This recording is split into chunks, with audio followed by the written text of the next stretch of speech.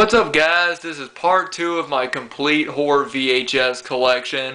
Um, I don't have a whole lot of tapes to show off, but I got a good amount, so I'm going to go ahead and get started. Um, and like I said in my last horror VHS collection video, I'm not going to talk about each movie in particular. I'm just going to pull them out, show you guys the cover, say the title, and move on. I might mention a few things here and there, but for the most part, I'm just going to be going through them and showing them off. So uh, let's go ahead and get started.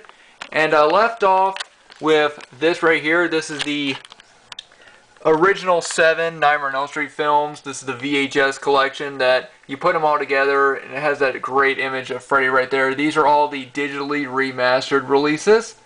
So I'm going to go ahead and pull them off. First one is Nightmare on Elm Street, of course. Nightmare on Elm Street 2, Freddy's Revenge, Nightmare on Elm Street 3, The Dream Warriors, Nightmare on Elm Street 4, The Dream Master. I really like these new covers. I love the original covers, but I do like these covers as well. Then we have a Nightmare on Elm Street 5, The Dream Child. Freddy's Dead, The Final Nightmare. And New Nightmare. Okay. Now I already showed off this. Uh, this is uh, my single release of New Nightmare. This is the collector's edition. I already showed that, off in the last video, so I'm not going to go into it. Next one, I have the two first two Phantasm films.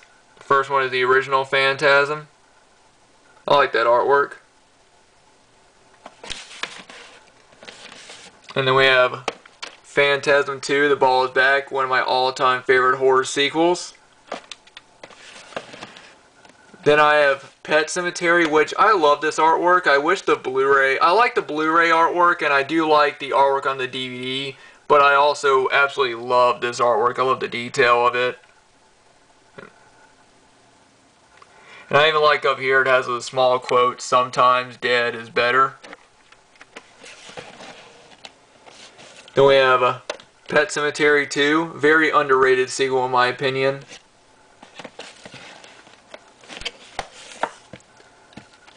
Phantom of Death with Michael York and Donald Pleasence.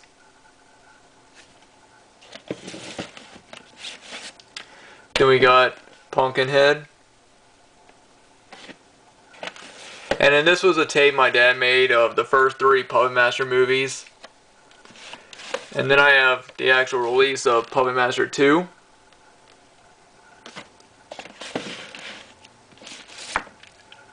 Curse of the Puppet Master, which I haven't seen, but this is a screening uh, like a screener copy of it. It even has this little sticker on it that says, uh, this screening cassette is being provided to you courtesy of Amazing Fantasy Entertainment. I've never heard of it, but... And then Retro Puppet Master. Then we got some two. These movies aren't really considered horror, but I just have them in here. Uh, Python which is just a fun giant snake movie. And the sequel, Python 2. Next we got Poltergeist 3.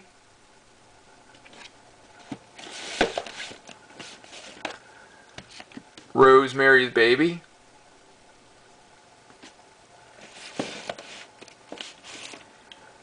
Shockwaves.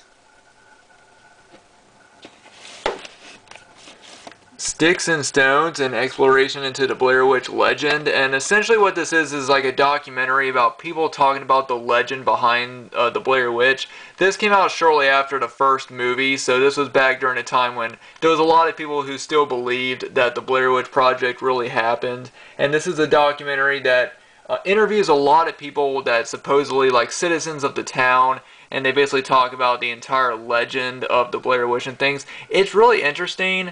Um, you know, it, I mean, of course, you know, now, you know, we all know the Blair Witch legend, you know, isn't really true, but it does talk about the Bell Witch and other sort of witch legends that were around that time that do have some fact in them.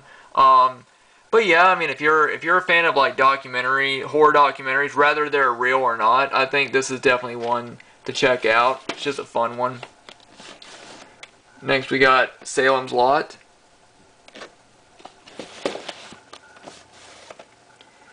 The New York Ripper.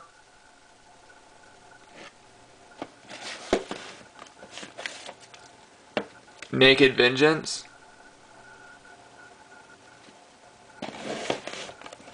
Then we got Scarecrow Slayer. I I find the three Scarecrow movies to be fun, cheesy films. They're not great. Uh, the first one is the best made out of the three, but I enjoyed this one as well. The third one, uh, Scarecrow Gone Wild, really wasn't that that good, but it had some moments.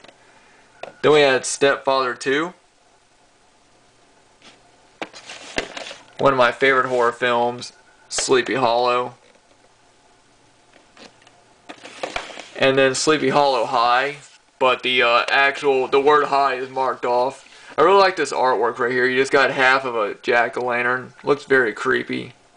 This is essentially like an un, an unrelated Sleepy Hollow, like it's not it's not uh, related to this film, the John, the Tim Burton film with Johnny Depp. It's basically just a story about the legend of the Headless Horseman of Sleepy Hollow, and it's about these uh, sort of delinquent uh, teenagers that go to Sleepy Hollow High School, and some guy's going around with a jack o' lantern uh, mask on, and is going around and uh, killing people, and it's it's a fun movie. It's not great, but it's a fun low budget movie that you know, like I said, it, it's more along the lines of being inspired by the original story, The Legend of Sleepy Hollow, than it is um, the movie uh, directed by Tim Burton. Then we have uh, Terror in the Aisles. It's a great horror compilation, which is uh, hosted by Donald Pleasence and um, who else?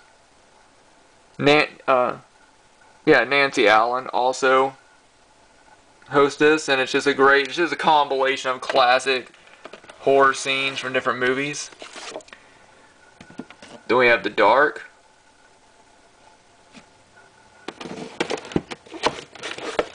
The Kindred. This is cut.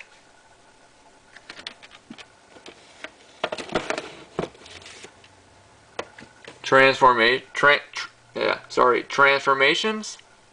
Just a crazy cover right there.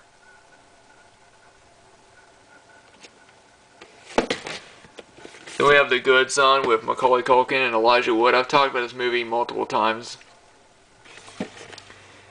Then we got the classic The Terror with Boris Karloff and Jack Nicholson.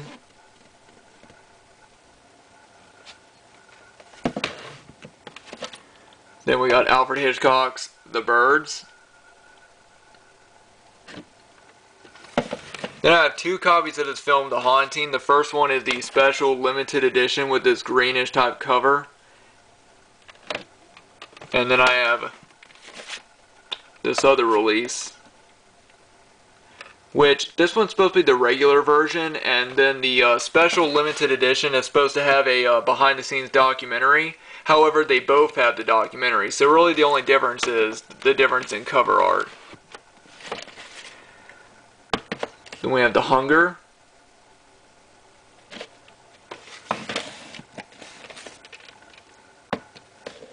The town that dreaded sundown.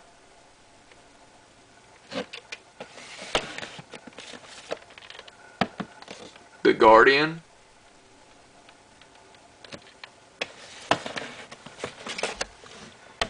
The Vineyard.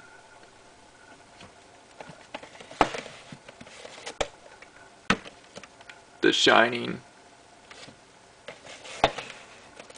The Sixth Sense, still sealed.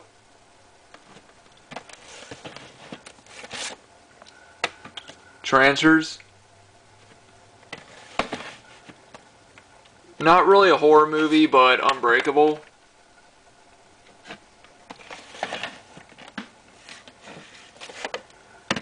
Village of the Damned. Waxwork 2. World of Death, which is basically a documentary that uh, just about death going on in the world. A lot of videos of executions and just and things like that. It's kind of like a death film in a way. Xtro 2. The media release of Zombie Island Massacre. And then the Troma, the Troma release of Zombie Island Massacre. Sorry. Okay. I'm gonna go and go up here. I don't know if I if I showed this off or not in my in the last part, but this is the basement big box um, that has a an unreleased, you know, uh, early uh, shot on video horror film from the 70s called The Basement on VHS, as well as five other um, shot on video uh, horror films on DVD. Oh, excuse me, the the Basement is not shot. It's a Lost Super 8 film. Excuse me, but it's got uh the basement on VHS, and then five shot on video uh, 80s horror films on DVD. And then over here, we have this shelf that has some special tapes on it. Like this one right here. This is Child's Play. Uh, this is a sealed copy. And then we have Maniac. Again, I mean, not Maniac, Magic. Sealed, excuse me. And then uh, Bride of Reanimator. And the last of these, these are my Anchor Bay clamshells. And I got some cool ones like right here. We got the Midnight Hour. One of my all-time favorites. That needs a Blu-ray release. The Evil Dead.